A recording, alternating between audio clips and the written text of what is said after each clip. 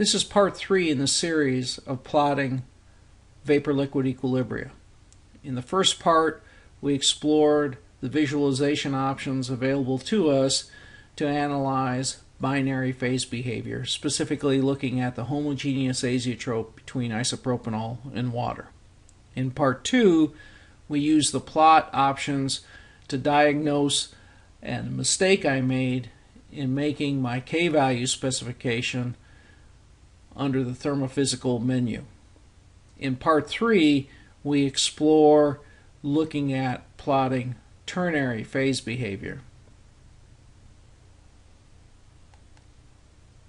In this case, I want to explore the impact of a trace component on the isopropanol benzene phase behavior.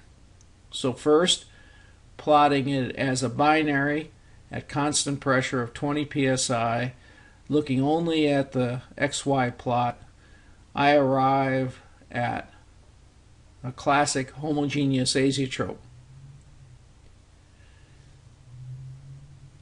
With the azeotrope composition approximately 45% isopropanol. I can look at the impact of having a slight amount of water available in the liquid phase by using an option in ChemCAD to specify the third component. In this case, the primary components are isopropanol and benzene, and I'm going to mandate that the liquid phase is 5% water.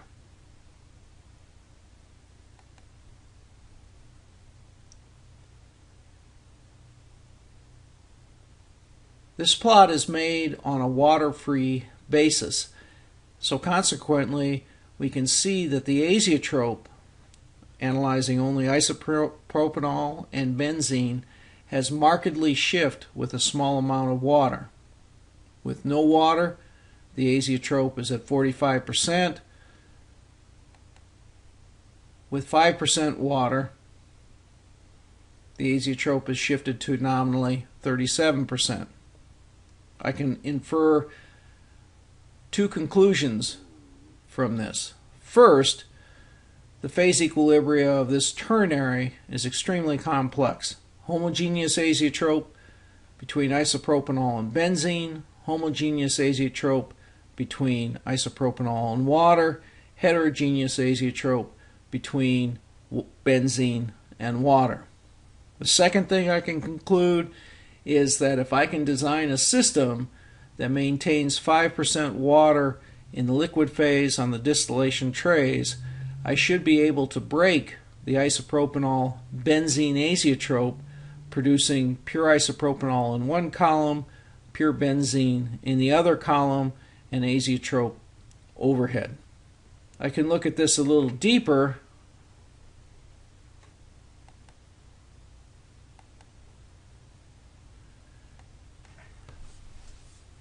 and have 10% water, again on a water free basis, and note that going from 5% to 10% did not really change the impact on the azeotrope.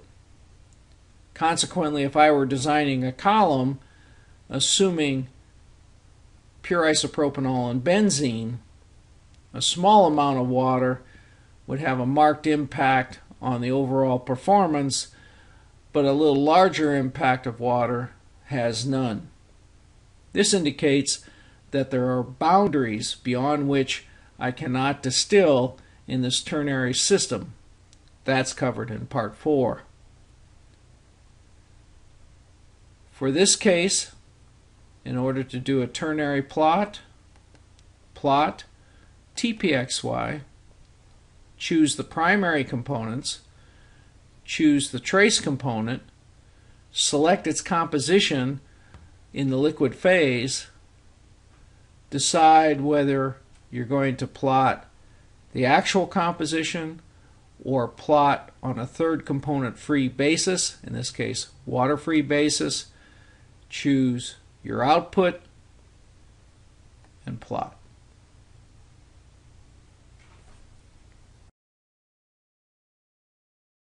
This tip showed you how to plot ternary vapor-liquid equilibria.